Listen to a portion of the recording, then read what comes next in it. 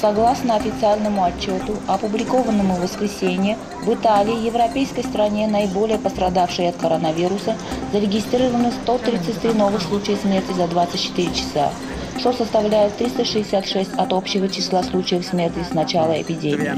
Количество инфицированных пациентов возросло до 7375, плюс 1492 по сравнению с субботой.